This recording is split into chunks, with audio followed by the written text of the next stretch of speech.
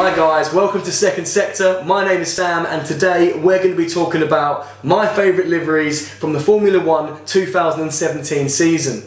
Now all the cars have been released, we know the driver lineups and we've gone through of testing. I thought I'd make a little video to tell you guys what I think of the 2017 liveries, who is the best and who is the worst. Let's get started shall we? Okay guys, so at the bottom of my list Force India, it's by far the worst livery of the 2017 season. They've gone for this washed out grey silver across most of the car. Their huge shark fin, which has got no shape to it at all, it's just like a big square block on the back of their car. It's just all one colour, it's all blocky, it's bitty. It looks down, it looks damp, it looks sad. It's got no character.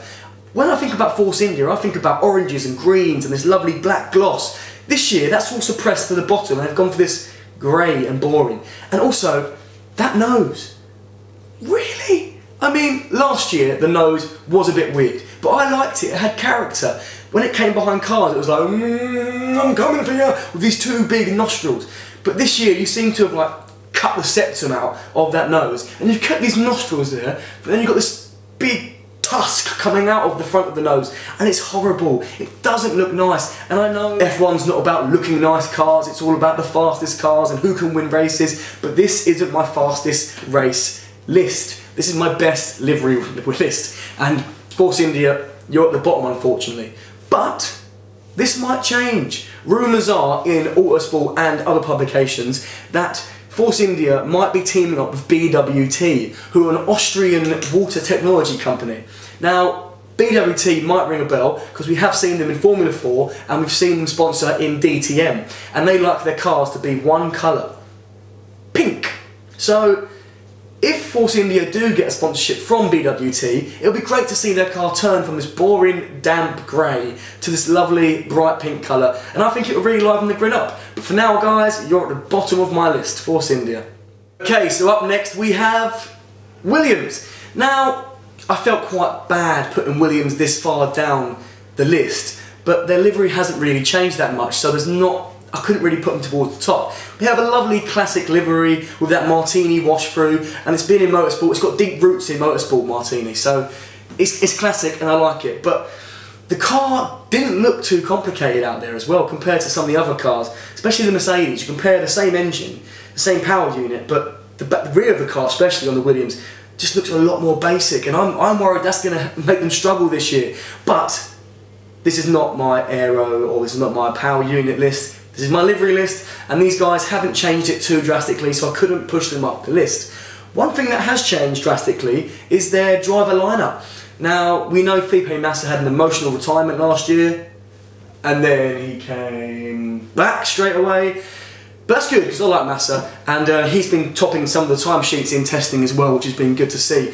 One person who's been topping the headlines for Williams is his teammate Lance Stroll, young billionaire's son, had a few crashes in testing, broke a front wing that put him out for a day. He even broke a chassis in one of them, so he's really channeling his inner Pastor Maldonado at the moment. So you might see some big crashes from him later in the season. But, yeah, not much really to say about Williams, so they're down there at the bottom along with the horrible Force India. Okay, this is going to be quite controversial, but next up, Mercedes. Again, not much has changed this year. They're, they're the silver arrows. Their livery is always going to be silver, so they couldn't go up my list any higher, really. They've added some nice, you know, stripes, neon stripes on the sides of it, which I really like, but again, it's much similar to the last couple of years that Mercedes have run. So, again, they couldn't be pushed up my list. They stay down there for the same reasons Williams is that it hasn't changed much since last year. Um, again, they I think they've got one of the best looking noses on the grid. They've not gone for the fun, they've not gone for the weird Force India tusk, they've gone for the really nice rounded nose, which keeps it nice and smart. Um, one thing I did notice about the Mercedes is it's got an extremely long wheelbase. It's quite a long car um, compared to other cars on the grid for 2017. So I'm not sure if that's going to make them struggle maybe in around Monaco or maybe it'll give them more of an advantage on some of the faster tracks. But We'll have to wait and see. But in terms of livery, not much has changed, not much I can say. It's the silver arrows. And don't shout at me please, because this is my livery list. So I know Mercedes, Lewis Hamilton, hashtag blessed, all that stuff. But they're down there because it hasn't changed much, not because it's a horrible livery. Ferrari! Now, I know you're thinking, how can you put Ferrari so down this list? It's Ferrari, it's a race car, it's race car red, it's Ferrari, how dare you? But it's not their livery which has made me put them down this far, it's their use of sponsors on the car, which isn't, it's part of the livery, it's incorporated into the car's look. It just seems messy, it seems like they've just sort of laid back and gone, one there, one there, one there, one there, and it's it's distracting on the eyes. You're losing that classic Ferrari red because you've got a Ray-Ban sign here, Hublot sign there, this there, that there, this there, one there. I mean, the white highlights are nice. I like the white highlights on the side wings and the winglets at the back of there as well. I really like that. One thing I love about the Ferrari this year is the Italian flag going the whole length of the shark fin. I think that's lovely. It's a throwback to their Italian roots. It really brings out the Ferrari in it, you know, it's all Italiano and all that. But again, the sponsorships just seem too messy for me. So I've put Ferrari this far down the list for that reason and that reason only. Um, it was the first car of the 2017 season where I personally saw the T-wing being used on the back of that shark fin. I don't like them. I think it looks strange. I want to go and hang my coat on it or something. It just, I hope Ross Brawn addresses this before we start in Melbourne and, and gets rid of these T-wings because I'm not too keen on them. Um, Ferrari have done great in the tests in Barcelona. They've been top of the timesheets, up there every single day. But I'm not sure if this is because of pressure from Italian press. If they didn't do well, they get torn apart. Uh, Italians love Ferraris. They have to perform. They have to do well. And I don't know if other teams are just sandbagging and Ferrari are trying really hard in these tests. But as far as livery goes, it's red, it's a race car, it's beautiful, but the sponsors, guys, for me, have ruined it personally. So, Ferrari are down there. Okay, as the list goes on, the cars get better looking. In my opinion, remember, before you start putting yours down there and disliking me in the comments, this is my opinion and this is my livery list, and I think the car that deserves to be next is Haas Formula One. I'm really sorry for the accent. It, it's, it's Haas F1. They have released quite a different looking car this year and quite an aggressive looking car. Uh, my first thoughts were fighter jet, aggression, nice nasty side pods, the lovely go faster stripey kind of stuff on the shark fin. But after a short time thinking, I, I started to think, this reminds me of the Audi WEC LMP1 cars, which I loved. I absolutely love those cars. Rest in peace, Audi, by the way, for your endurance championship. But Again, a great looking aggressive car. I think Haas have done really well. I would like to see how they do this year on the grid as well because they've got Kevin Magnussen, who's one of my favourite drivers in Formula One. So it'd be good to see what he can do after his rough departure, I believe, from Renault. But yeah, Haas have done really well. Great livery. I like it. Okay, so this one was quite an easy one for me to put up here. Um, I loved it last year when they first brought out the matte effect, but it's Red Bull. Um, the livery's lovely, you can't argue with it. It's that matte look. No one else is doing it in Formula One. In fact, I don't think anyone else is doing it in motorsport. The, the sort of livery. If they are, let me know. Put in the comments below. But uh, Red Bull, they're up there. Looks beautiful. Uh, a few things I have noticed though is that the shark fin is missing the bull's tail. And I'm not sure if this is because they've got some more aero upgrades to put onto the car and they don't want to show their hand in the testing. Um, I actually had dinner with Mr. Newey earlier in the year and we spoke about certain aero packages on this 2017 car and I've not seen a single bit on there which he was talking to me about. So uh, I, I, do believe they're sandbagging they're holding back they've got a lot more to do. They have got this strange pingu nose that everyone's been talking about. And uh, it sort of takes air in above the wing and then disperses it underneath the, the nose. As far as I'm aware I've got no idea what it really does. But um, yeah I think Red Bull have got a great livery this year. Um, They've got a very short wheelbase, I've noticed. But I'm, I'm not sure if that is maybe to hand back the win to Ricciardo in Monaco that he was robbed of last year because it'd be great going around that title track. But yeah, Red Bull, I like it. You're up there.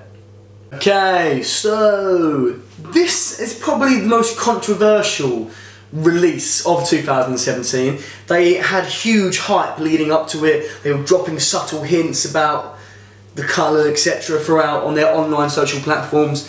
Um, they got rid of one of their biggest bosses, and of course, it is McLaren. Um, they've gone orange again, a throwback to the Bruce McLaren days, which I like. I really like it. Uh, a lot of you were upset because it wasn't white and orange, it's, it's black and orange, but come on guys, it's got to be baby steps. You can't just suddenly change the whole livery and go white and orange again, back to the Marlboro days.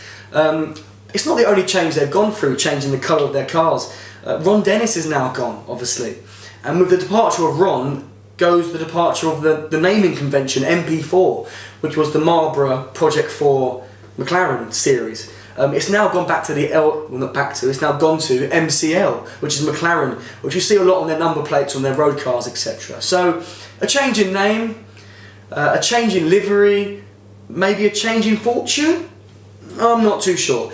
Because in testing, they went through five engines in four days. Honda really need to pull their finger out and sort out these reliability issues because personally one of my favourite teams, McLaren, I hate seeing them. As as Alonso said, GP2 engine, you know, it's, it's, it's, it's crap.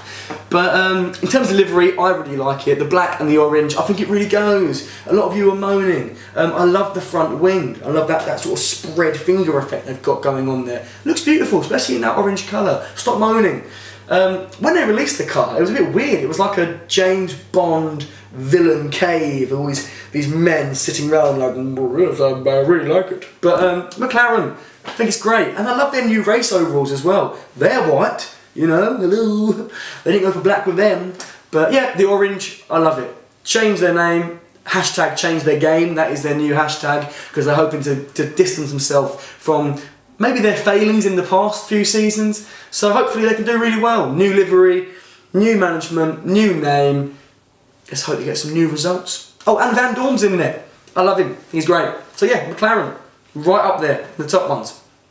Now into the top three liveries for my personal opinion for the 2017 season. Uh, up next is a team that I have not liked for many years, but that's purely because I supported their rival. Um, it is, of course, Sauber. They've released this beautiful new livery, which I think is a throwback to the old tobacco sponsored days. And it really goes with the uh, the wide new tyres and the low rear wings and these lovely whites and blues and the gold running through it. Of course the 25 years on the side celebrating their 25 years in motorsport. Um, it just works for me. It's, it's classic. It looks like a classic livery on a brand new 2017 car. Um, I was a huge Manor fan, it's sad to see them go, um, and I was not a big Sauber fan, but this new livery, I'm, I'm, and with the departure of Manor, unfortunately, I'm, I'm rooting for Sauber this year, and they're, they're, definitely in the top three for um, for liveries. It, I like it a lot. They've done really well this year. Um, do you agree? Yes? No? Do you think it's too similar to some of the old tobacco branded cars back in the 70s and early 80s, etc.? No? I like it. Sauber, number three for me. Number two in my list. Um, this team was would, would not have been this high in my list until I saw them on the track at a filming day and in Barcelona testing as well. It's a beautiful looking car, it's really aggressive. It reminds me of the Batmobile a bit as well at times. Of course I'm talking about Renault. Um, they've gone from that banana yellow, this little minion running around last year to this dark and moody with yellow front and black spiky shark fin at the back this year and it just looks aggressive and I think it works. I'm really pleased with Renault this year. Um, I was a big Renault fan during the Alonso days but that sort of dropped off, Crashgate happened etc and I haven't really got back into them. So it's nice to see them on top form looking aggressive again but I didn't rate the car at first when I saw it released. It's only till I saw it on the track, and, and bear with me guys, when you see it out there, it, it's beautiful. It looks really nice. Um, one thing they have got drastically wrong are those overalls. What were they thinking? Honestly, they look like fishermen, deep sea fishermen with these black and yellow trousers on. It's just, it's, it's not nice. But in terms of aggressive, classic, very French, very Renault, the livery's brilliant. Number two for me, guys. Here we are guys at my number one best looking livery for the 2017 Formula One season. It's got to be, all the polls agree, online forums agree, all the papers agree, Toro Rosso! Well done guys, they smashed it. They absolutely smashed it. They've gone for this Red Bull Cola livery with this chrome text and this mean ball. They've got rid of that hand painted ball, which looked messy, it looked clumpy. You couldn't see it moving at 200 miles per hour, and gone for a much sleeker, purer, red, blue, silver look. I love it. I think it's brilliant. They've gone for the purer shape as well, the same as Mercedes with the, the lovely nose, not the thumb nose, not the Pingu nose, not the Walrus nose. They've gone for the lovely curled nose. They've gone for the higher wishbones. Same, same as Mercedes. It's very similar to the Mercedes. Could it be a challenger for 2017? I'm not so sure. I'm not so sure what the Renault power unit is saying for them as well this year, but I'm hoping to see some race wins from them. I can't remember the last time they won. I think, was it with Vettel? I, I don't know. But in terms of livery, Toro Rosso for me is the best livery of 2017. Um, they've smashed it. Well done. So that's it. That is my best liveries in order for 2017 Formula One season. Thanks for watching guys. Don't forget to subscribe. See you soon. Bye.